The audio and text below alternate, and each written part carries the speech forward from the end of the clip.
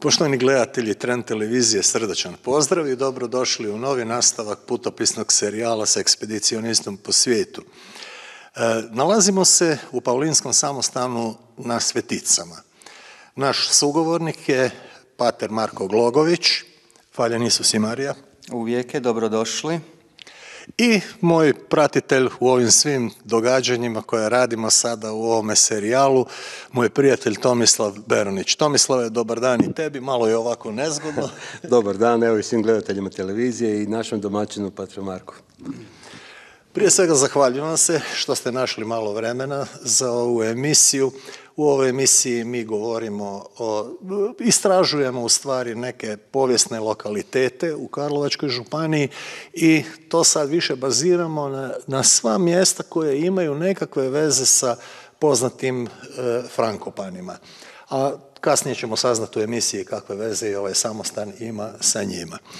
Evo, ja bih za početak molio, jer uvijek Pavlini nekako samo zatajno djeluju, e, nisu toliko neću, možda ću nešto lošega reći, ali nisu nikad jako eksponirani, više nekako su mirniji djeluju nego inače svećenici, a bi vas ja lepo molio zbog samih naših gledatelja da malo objasnite povijest e, Pavlina.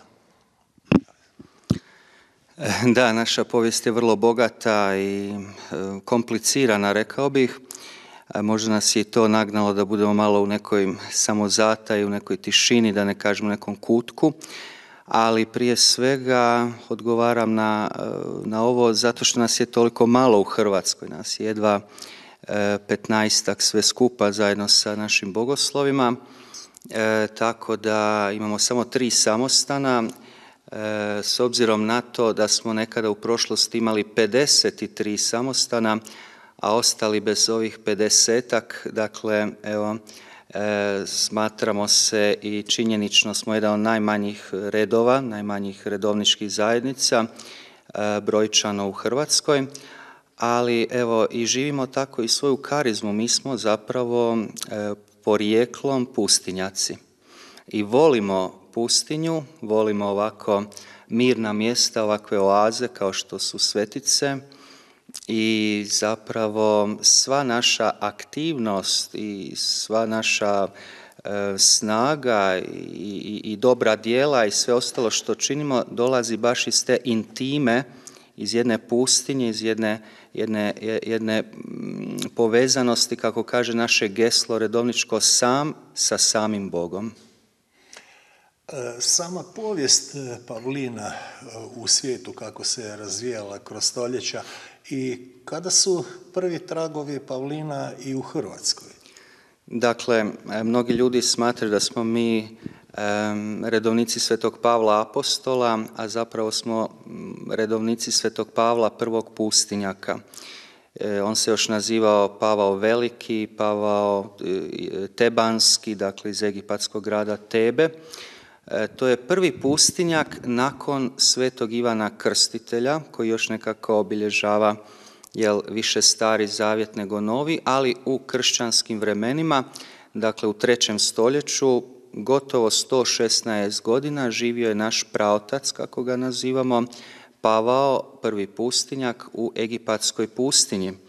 On je bio žrtva jednog e, progona rimskog cara Decija u kojem su stradali mnogi kršćani Međutim, on je utekao, spasio je živu glavu kao dječačić, sklonio se u pustinju, duboko u pustinju, našao jedno mjesto pripremljeno za njega od gospodina, u jednu špilju koja je imala jednu oazicu, palme, izvor vode, svakodnevno ga je hranio Gavran kao i svetoga Iliju, kako znamo iz Starog Zavjeta, i nakon njegove smrti počeli su se tamo daleko na istoku okupljati kršćani koji su željeli njega nasljedovati. Tako da njegov učenik, sveti Antun Opat, to je onaj svetac s malom s prascem, sa svinjicom kraj nogu, e, koja je simbol nečistih misli, borbe, strasti i tako dalje, ali koje smo mi onda to e, prebacili na štale, na domaće životinje, pa je on zaštitnik domaćih životinja i seljaka i tako, ali evo već njegov učenik je imao preko pet tisuća monaha raširenih, rasprostranjenih po cijelom Egiptu, pa poslije u Siriji i tako dalje. E, dakle, to su bile e, manje veće nas, nastambine e, i pećine i samostani koje su do dana današnjeg još aktivni, jel? Evo, tamo su danas kopti, kršćani, pravoslavni kršćani kopti, koji su zapravo jedna od najstarijih kršćanskih crkava. A Pavlini su zaživjeli kao katolička redovnička zajednica e, u 14. stoljeću. 1308. godine dobivamo potvrdu od pape, dopuštenje naših pravila, a naš utemeljitelj pravni bio je Mađar, ostrogonski kanonik, blaženi Euzebije, koji je sakupio pustinjake iz Mađarske i Hrvatske također, dao im je jedan, jedan oblik, jedne, jedna, jedna pravila, prozvao ih je jel, pustinjacima Svetoga križa, kasnije smo se prozvali e, Svetoga Pavla i zapravo mi počinjemo svoj hod u 13. na 14. stoljeće. Malo ste me zaintrigirali kada ste rekli da u Hrvatskoj samo 15 ima pavlina. Što je tome razlog? Je li to razlog težina toga reda ili su to, ajmo to sada reći, malo veća odricanja? Šta vi smatrate da je na stvari? Pa ja bih prvo rekao čak 15. Čak 15. Čak 15, da. E, obzirom na to da smo u vrijeme domovinskog rata e, imali samo dvojicu hrvatskih pavlina, pater Juraj, nezaboravni, da, sa Kamenskog, pater Stjepan koji je još uvijek tamo, dakle i samo jedan samostan i to jedan samostan koji je bio pod okupacijom neprijatelja u Kamenskom. I, dakle, mi sad imam, nas je već stvarno jedan lijepi broj, tri samostana su više nego jedan. E, međutim, naša povijest je vrlo, vrlo burna i više puta smo bili e, dokidani, zabranjivani, progonjeni. E, mnogi, mnoge stotine, da ne kažem i tisuće naših, naše subraće bili su mučenici za vrijeme Turaka u 16. stoljeću, a onda i u sljedećim jel, stoljećima i u komunizmu, ali evo, e, baš 1786 E, poznatim ediktom cara Josipa II. mi smo ukinuti na području Hrvatske i šire. Tako da sve što smo imali u tih svojih 50 samostana, to je bilo ogromno bogatstvo u smislu misnica, kaleža, rezbarija, jel, orgulja, e, knjiga prije svega. Prve apoteke su imali Pavlini u Hrvatskoj, prve gimnazije, e, umjetničke škole vrhunske, osobito u baroku, imali smo biskupe, generale reda, sjedište čitavog reda je bilo u Lepoglavi u Hrvatskoj. Dakle, mnoge, mnoge poznate umjetnike svih mogućih e, dimenzija i, i, i tako dalje e, i znanstvenike i vojnik, vojskovođe. E, dakle, nije, nema čega nije u prošlosti bilo u našem redu, ali evo, to je u 18. stoljeću naprasno prekinuto i progon ukinuće cara Josipa II. Austrijskog, Bečkog, je preživjela su samo dva samostana na terenu Poljske. I ta dva samostana u 19. stoljeću kreću, kreće malo po malo. Mi danas smo jedan od najmanjih katoličkih redova. Mi imamo svega 70 samostana sa svega 500 redovnika. Sad to usporedite sa Franjevcima kojih ima, ne znam, 20, 30 tisuća ili 40 ili koliko, jel? Sa stotinama i stotinama ili Isusovci ili Salezijanci. Mi smo jedan od najmanjih redova. Jel bi mogli objasniti e, hijerarhiju? Mene to e, titulari zanimaju. Dakle, ko je na čelu reda i kako to kasnije se širi kao piramida? Uh pa evo, e, dakle, na čelu našeg reda je generalni prior. Prior na latinskom jeziku znači prvi. On je prvi među jednakima, jel, kako se kaže, ali ipak ima jednu jurisdikciju, jedan, jedan poseban poziv. On se bira na generalnom, e, generalnoj, generalnom kapitulu reda koji se svaki šest godina saziva, može biti biran i više puta. Ispod generala reda je nekoliko naših otaca ili patara, koji su dakle definitori, generalni ekonom, tajnik i tako dalje, a onda slijede provincijali. Ispod provincijala su opet e, vice provincijali sa svojim timom, jel? a ispod provincijala i vice provincijala su delegati, tamo gdje nema provincije, a onda slijede priori, priori danog mjesta, danih samostana. Jel? Ovo je generalni prior ili vrhovni prior, a mi smo mjesni priori. E sad kad bi vas pitao o samoj crkvi, o njezinoj povijesti, pa bi vas to molio da malo objasnite, jer i mnoge poznate osobe, recimo jedan leksikograf, Ivan Belostenec je ovdje dobar komad svoga života proveo u ovome samostanu, pa bi vas malo molio o samoj crkvi da nešto kažete.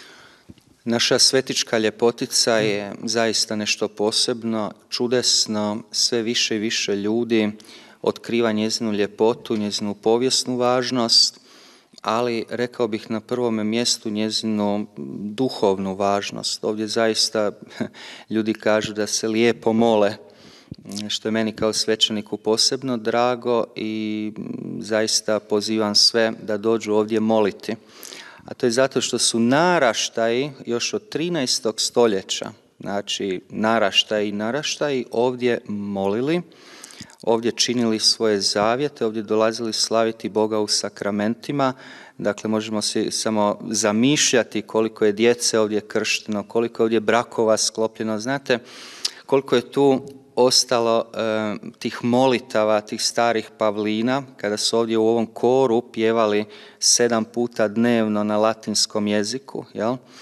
E, dakle, sve to negdje ostaje u ovim, ajmo reći, na jedan simbolični način u zidovima, jel? međutim, već u 13. stoljeću ovdje su bili takozvani popovi glagoljaši, jel?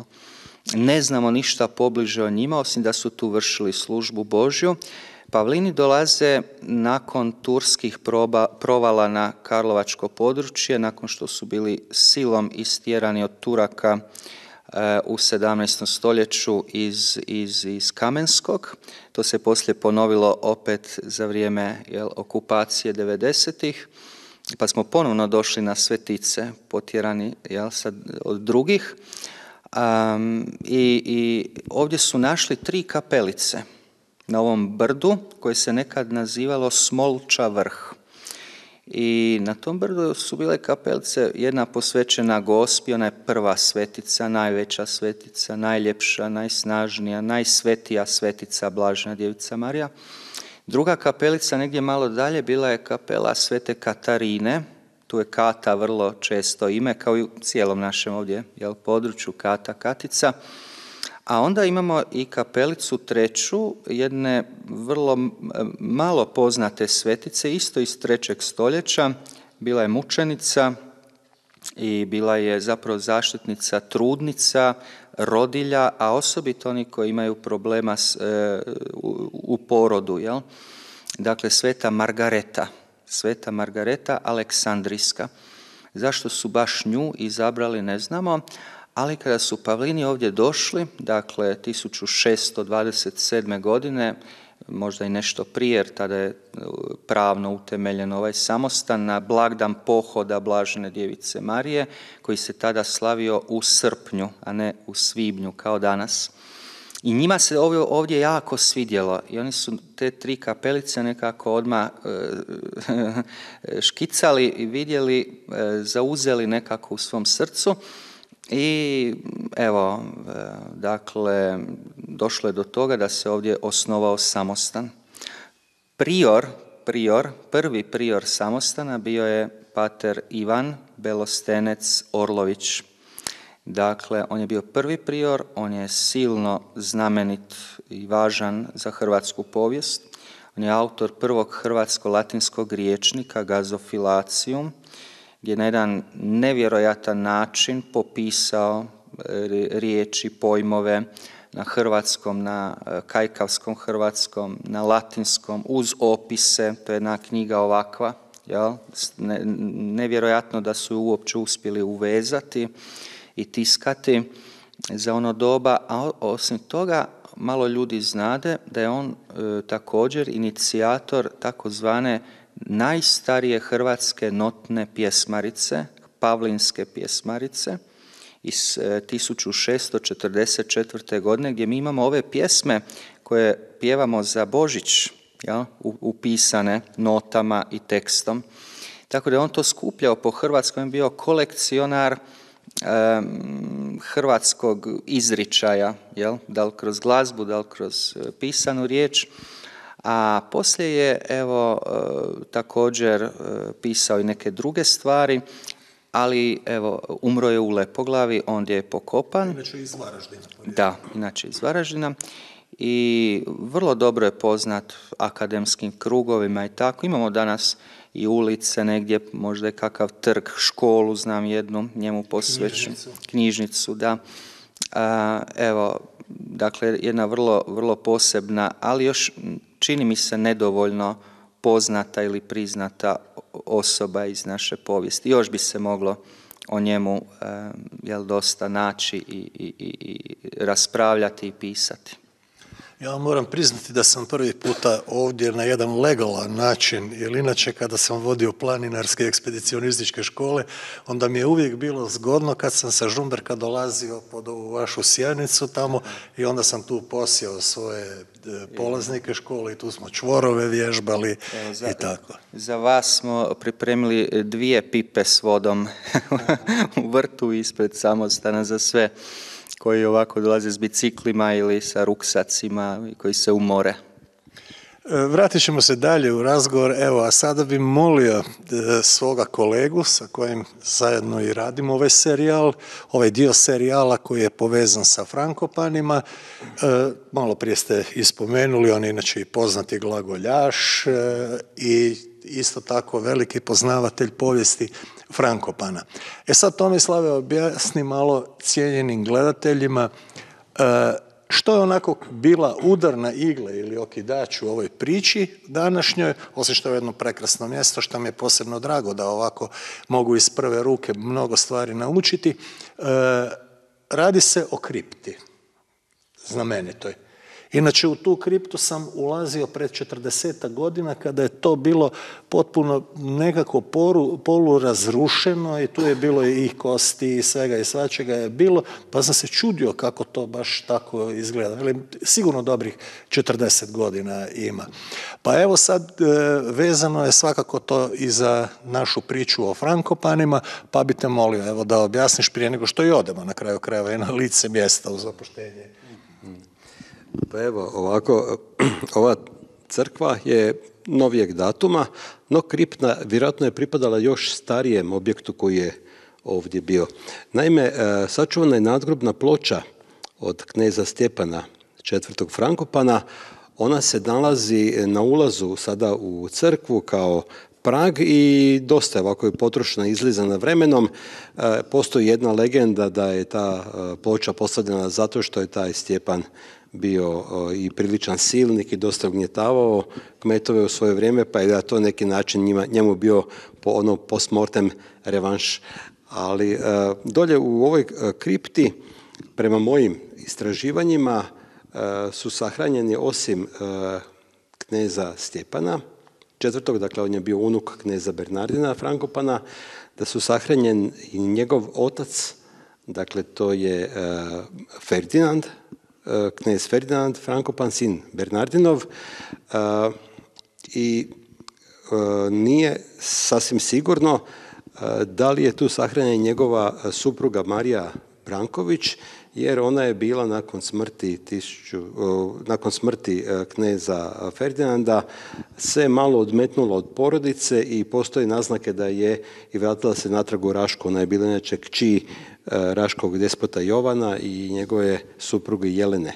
E sad, postoji vjerojatnost da je e, ta despotica Jelena e, također ovdje sahranjena. Dakle, despotica Jelena, ona je, s obzirom da je bila kneževskog roda, vrlo vjerojatno pokopana također u kripti kako je pripadalo visokom plemstvu onoga doba. Njezin zet, Ferdinand, on je bio čak u jedno vrijeme kao mladi momak, on je bio modruški biskup jer je knez Bernardin, njegov otac u nekom trenutku prijenosa vlasti, crkvenih vlasti iz biskupije iz Krbave u Modruš, njega imenovao za biskupa, što je naravno kao knez imao pravo i papa je taj, kad zove, izbor i potvrdio. Kasnije on odstupio od te dužnosti i nastao normalan civilni život. Knez Stjepan, dakle e, četvrti, on se oženio kasnije nešto nego što je bilo uobičajeno u to doba za Katarinu von Eck i s njom je imao jednu kćer, Katarinu, koja je umrla jako mlada kao djevojčica, tako da se možemo pretpostaviti da je i obje Katarine i majka i kći da su također sahranjene ovdje uz, e, uz e, supruga, odnosno oca. E, kad se tu, ajmo reći tako, podvuče crta, onda možemo računati da je ovdje četvero do petero Frankupana sahranjeno, plus možda Raška despotica Jelena, dakle od tog visokog plemstva onoga doba. To je ono što se nalazilo u kripti. Ne tako davna istraživanja dolje u kripti su izlučila i, i skupili su i posmrtne ostatke kosti, naše su komade nakita, to je radio ovaj muzej u Ozlju, tako da kad budu poznati rezultati analiza svega toga, možda ćemo moći biti nešto precizniji. Osim toga u kriptu su kasnije sahranjivani Deli Šimunović i drugo plemstvo, ono, to je velika dolje lijepa kneževska kripta i uh, manje oni uh, prostori gdje su se redovnici sahranjivali. E, ova crkva meni je osobno izuzetno zanimljiva i draga jer ona ima e, i e, još ovdje iza oltara grb frankopanski koji, taj sličan takav grb je, je koristio knez Krsto Frankopan, dakle sin Bernardinov i nalazi se i na brevijaru i na nekim drugim mjestima koji su vezani uz njega. Naime, Krsto je bio veliki vojskovođa i ratovao je za Habsburge protiv Venecije. I u jednom, možemo reći tako, iznenadnom prolazu je pao u mletačko zarobljeništvo i oni su bili sami šokirani koga su uspjeli zarobiti. Krstu pa na tom je bilo uh, ono gotovo nezamislivo. Čak je kasnije objavljena jedna knjiga, roman Frankopanov prsten, u kojemu je se dosta toga i, je i opisano i Krsto je završio u mletačkom, nećemo reći zatvoru, već u zatočeništvu. On je bio naime u Duštovoj palači primljen sa svim počastima, jedino što je bio pod stražom stalno. I nakon jedno dvije godine njegovog zatočeništva je njegova supruga Apolonija došla, Lang von Wellenberg, ona je došla u, usput sestra od Salzburškog biskupa. Ona je došla njemu u posjetu, svom mužu i nije se htjela dati van iz te prostorije, tako da je to bilo zanimljivo da je supruga došla mužu u zatočeništvo. To je izazvalo čitav skandal u Veneciji, bilo je to tako nešto nezamislivo, no tu je malo pripomogao i knez Bernardin koji je izdašno slao uh, novac, zlatnike za uzdržavanje svoga sina. Uh, ima čak neki podatak da je to uzdržavanje koštalo 40 zlatnika mjesečno jer ovaj, tako da je to bio jako, jako veliki iznos. Za 50 zlatnika si mogao primjerice kupiti cijelo selo sa kmentovima u to doba, koliki su bili redovi veličine. E, tako da eto, Apolonija ostala s njime, kasnije su u zarobljeništu napisali jedan brevijar i dali su ga otisnuti. E, to je isto ovako sačuvanje, e, jako zanimljiva priča i tamo se vide i njihovi likovi kako kleće i mole se. A potom je, su prebačeni u Milano, oboje i u Milanu je Apolonija umrla, a dok je još bila na odru, taj nesretni događaj knez Krsto iskoristio i pobjegao iz zarobljeništva, došao je u Postojnu i koja je bila tada u njegovom vlasništvu ima jedan spomen, se kaže da kad je on knez dolazio u Postojnu, da su Lumbarde tukli njemu čast. Evo to ovako malo o samo knezu Krsti Frankopanu, on je kasnije e, poginuo u opsadi e, Varaždina, dakle na vojnom zadatku. E, još jedan posebno zanimljiv, možemo ga nazvati spomenik ovdje u u ovoj crkvi na Sveticama, meni kao glagoljašu je e, ulomak jedan, dakle to u obliku cigle je koji se nalazi u prvom e, bočnom lijevom brodu, ovome kapelici i tu sam uspio dešifrirati slovo S koje je vrlo jasno vidljivo, slovo, dakle slovo, onda est prije toga i moguće da je jedna, jedan znak prije toga oštećena je e, podloga pa nije lako za detektirati da je šč, tako da bi to moglo biti ščes. Ščes, recimo da je od neke riječi to bio zadnji dio, jer očito je taj komad kamena rezan iz nekog razloga i ostatak da je uništen. E, zašto to spominjem? Zato što je to jedan od rijetkih sačuvanih glagoljskih ulomaka na području Karlovačke županije. Imamo još gore u selu Durlinci, imamo jedan ovaj, u crkvi mjesno, imamo jedan kameni ulomak s glagoljicom, pa to je ovako zgodno. Iza oltara se nalaze ti grbovi, gore u freskama, dakle to govori još na, pošto su Frankopani ovdje bili, to je 1527. godine umro Krsto Frankopan, dakle možemo reći da to otprilike iz tog doba. Dakle, to je još iz vremena prije nego što su Pavlini ovdje došli, ako sam dobro sve iskalkulirao. No, Pavlinima pripada definitivno zasluga što je to opstalo, jer su za svo to vrijeme e, čuvali i njegovali i spomena naše e, knezove i na našu vjeru i crkvu i na kraju krajeva, evo, tu smo opet natrag u ovoj Pavlinskoj crkvi i neka tako i ostane. E, hvala Tomislave. Evo sad smo čuli Tomislava s aspekta glagoljaštva je objašnjavao što je po njemu ovdje najinteresantnije, naravno i sa aspekta e, Frankopana, ali Pater Marko, kada bi vi u ovoj ljepotici koju ste nazvali ovu crku takvim nazivom, e, što vi smatrate da je ovdje najvrednije? Mislim, sve je prekrasno. Tu se vidi puno ručnog rada, puno se vidi truda i da se tu puno radilo na tom uređenju.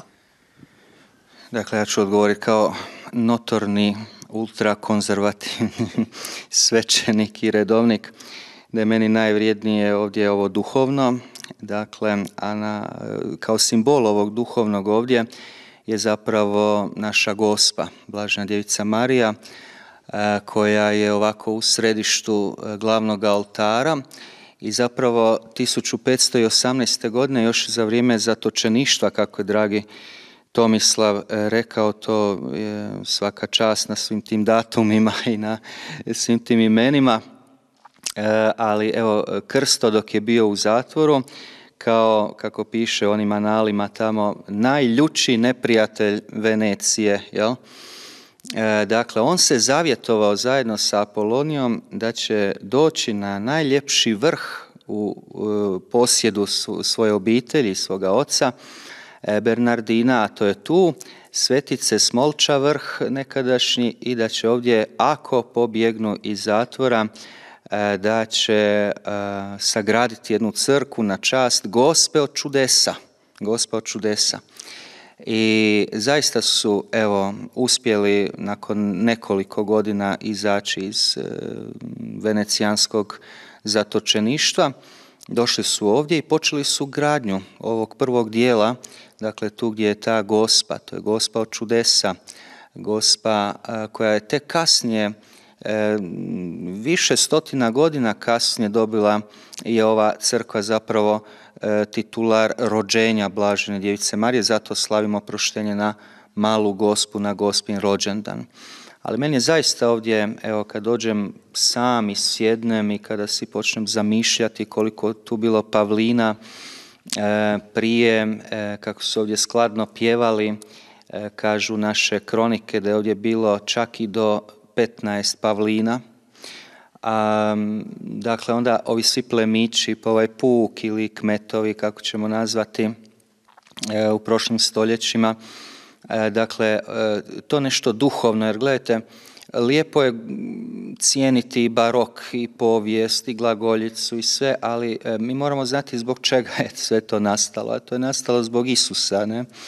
zbog Boga, zbog stvoritelja, zbog gospe, zbog duhovnog, zbog onog što je najljepše u čovjeku, a to je upravo ono duhovno i to je evo, gospodin podigao na takvu čast da ćemo evo jednom s njim biti, jel, na prijestolju u nebu, kako kaže Sveto pismo, i onda ćemo tek vidjeti divote koje su ovo sve inspirirale na ovome svijetu.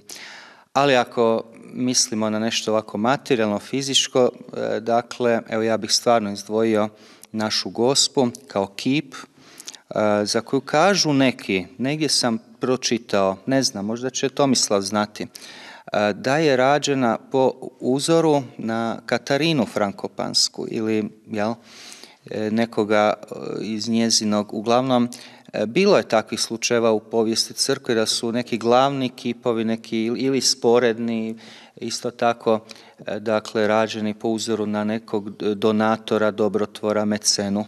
Evo meni je taj kip recimo, volim se ovdje moliti, gledati i gledati gdje sve to gospa gleda i mali Isus blagoslivlja je krune, evo to je znak vjere ovoga puka iako je desetkovan, jel, nekada prije 50 godina naša župa imala skoro 1800 stanovnika, danas ima jedva 350. Ali, evo, ostali smo tu, ne? Poneki se i vraćaju tu, e, ali e, stalnost ovog mjesta, kada mi gledamo da stotine godina su ove klupe tu, stotine godina ovih, ovih sedam oltara, stotine godina ova dijela Ivana Rangera, našeg e, najznamenitijeg hrvatskog e, baroknog slikara. Dakle, ja uvijek gledam što je pozadina toga. E, pozadina toga je duh, duhovnost. E, morat ću se malo našaliti ovoga i ipak amortizirali ste ono prvo što ste bili rekli. Ja se svakako sa vama slažem da vjera pokreće sve. I da nema vjere, ne bi sigurno ni ovaj materijalni dio nastao ovako lijepi takve lijepe stvari kao što je to. Tako da tu smo se našli sad opet na pola puta negdje. Evo Tomislav je želio isto nešto reći. Da, evo, Pater Marko je baš onako malo potaknuo.